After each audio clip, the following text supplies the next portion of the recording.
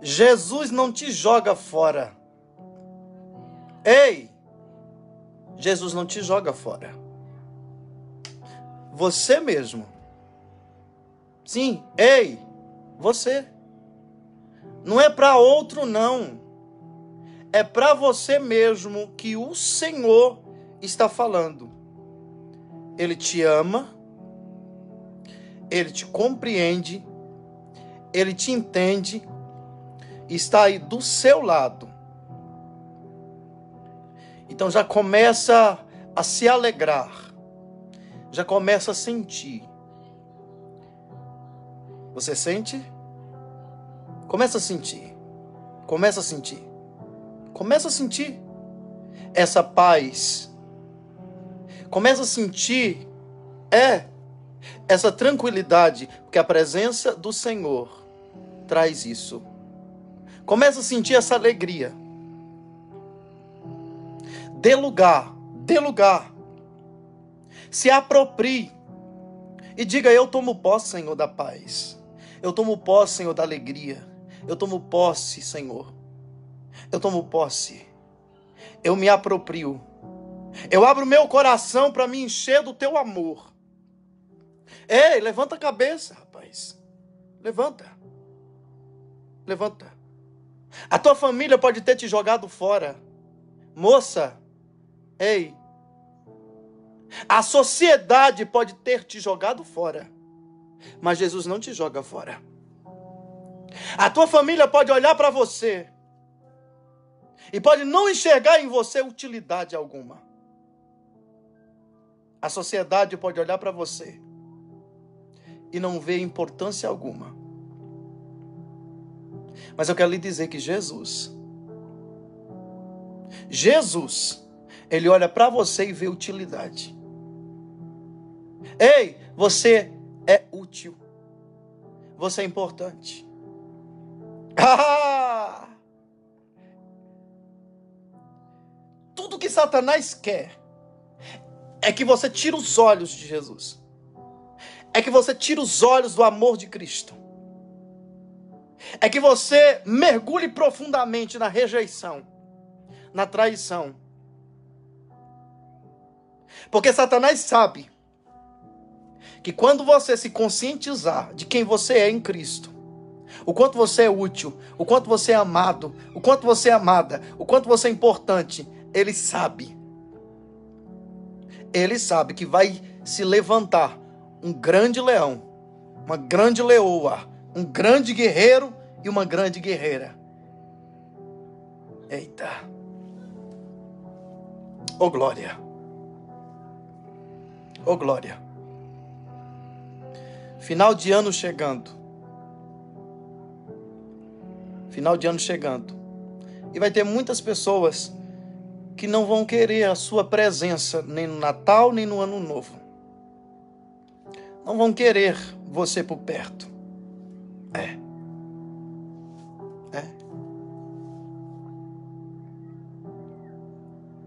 Algumas pessoas, sabe, vão fazer de tudo para que você não participe. Eu quero lhe dizer que Jesus não te joga fora. Jesus não te joga fora. Eu quero dizer agora, pelo Espírito de Deus, pare de ficar correndo atrás de pessoas. Pare de ficar querendo, mendigando atenção. Pare de mendigar a atenção de pessoas mendigar o amor de pessoas, mendigar que pessoas gostem de você, mendigar que pessoas estejam na sua vida. Quer um conselho? Busca Jesus. Procura Jesus. Navegue. Sabe? Na presença de Jesus. Busque mais intimidade com Jesus. Ele não te joga fora.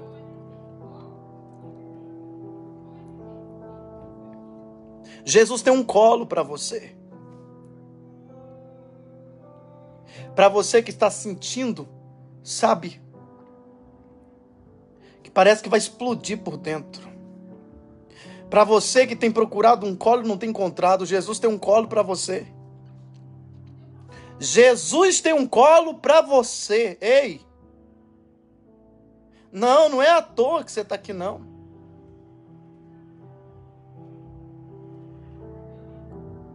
O céu moveu e fez com que os nossos caminhos se cruzassem. Fez com que esse jovem aparecesse na tela do seu celular nesse exato momento, nesse horário, agora, para lhe dizer que ele, Jesus, não te joga fora, que ele te ama, que você é útil. É. Que você é útil para ele. Que ele te ama tanto, mas tanto, tanto, tanto que você não tem noção desse amor. E ele está dizendo: ó, venha, venha a mim todos os cansados, oprimidos, que eu vos aliviarei. Jesus te convida. Oh glória! É Jesus que te convida. Venha até mim. Você que está cansada. Você que está cansado, sobrecarregado. Você não acabou de dizer, nossa, não estou aguentando, estou sobrecarregado. Você acabou de dizer isso para sua amiga, para o seu amigo. Você disse, eu não estou aguentando, estou sobrecarregado. Pois é, Jesus está dizendo, vem a mim. Vem a mim, todos aqueles que estão cansados, sobrecarregados, que eu vou aliviar. Jesus está aí presente. Aleluia.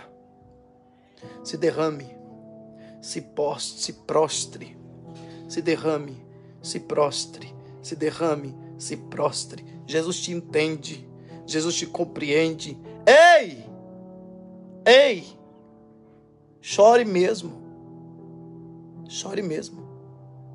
Chorar não é sinônimo de fraqueza. Chorar é sinônimo de humanidade. Chore. Chore.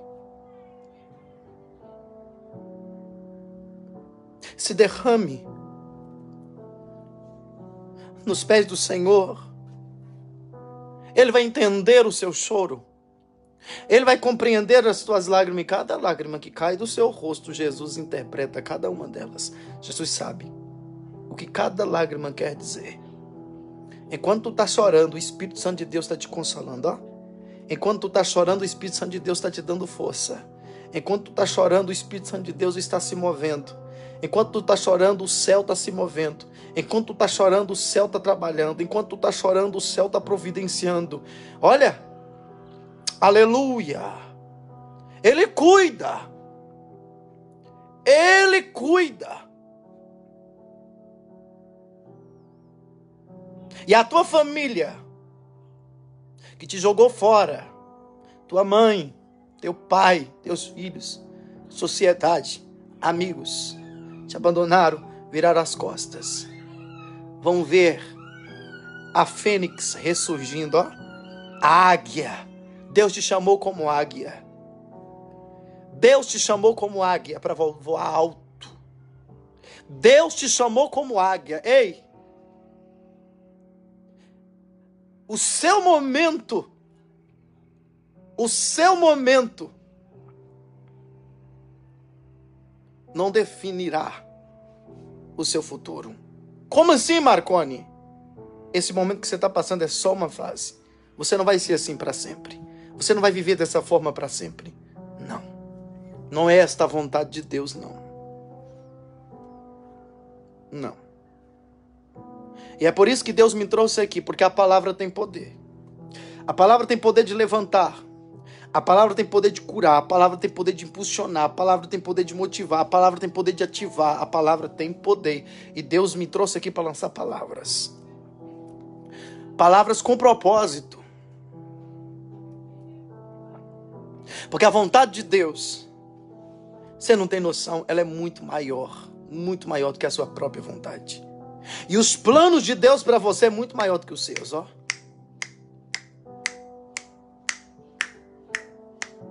Muitos olharão para você e dirão: Estou surpreendido. Muitos dirão essa frase: estou surpreendido com Fulano. Me surpreendeu. Pois é. Tu vai voar alto de novo. Tu vai voar alto de novo. Aleluia.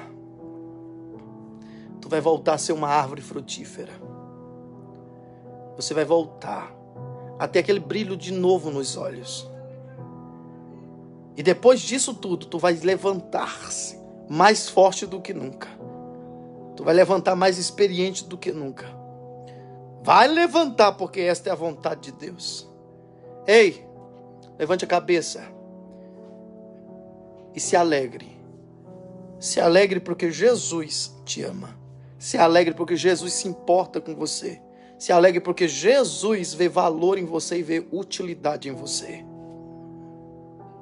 Tome posse disso, se aproprie disso. E quem não te valoriza, não vê importância alguma em você, quem te jogou fora, deixa.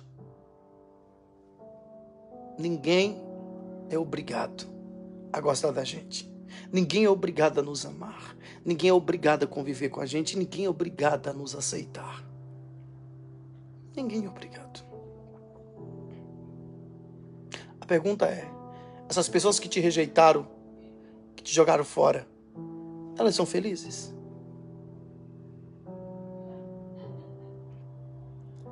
Hum? Elas são felizes em fazer isso com os outros? Como é que é a consciência dessas pessoas? Como é que elas vivem? Será que elas vivem em paz? Ei, não permita. É questão de você tomar uma decisão. Não permita que isso te deixe jogado no chão.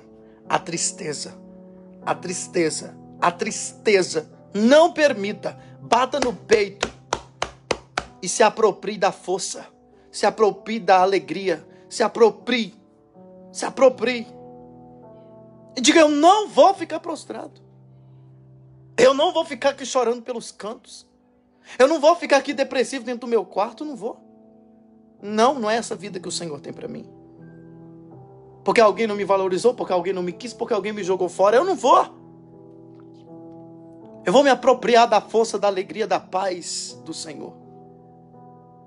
O Senhor me chamou como águia, como guerreiro. Eu vou para cima.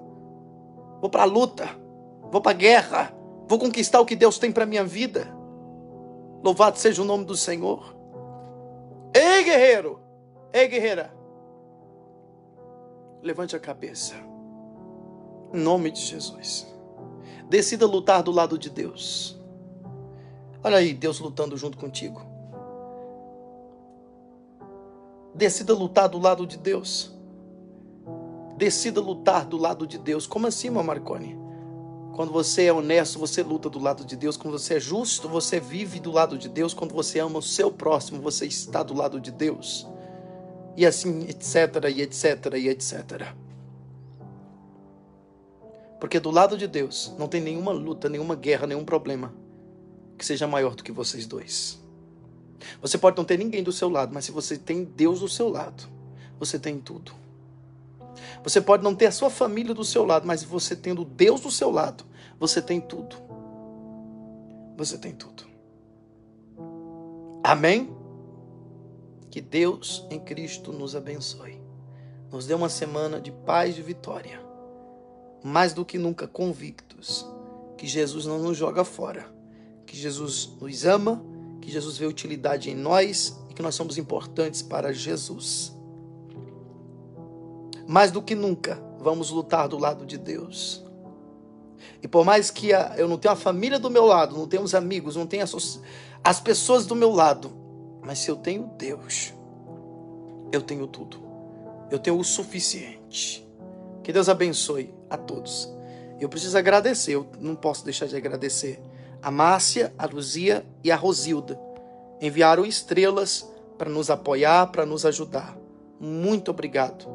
E você que compartilhou e está compartilhando esta mensagem, saiba que vocês são peças importantes para que a mensagem chegue em outros lugares e cumpra o propósito para qual ela foi enviada e ministrada.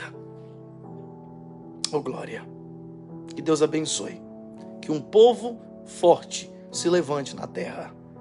Um povo forte espiritualmente, emocionalmente. Amém? Um grande abraço.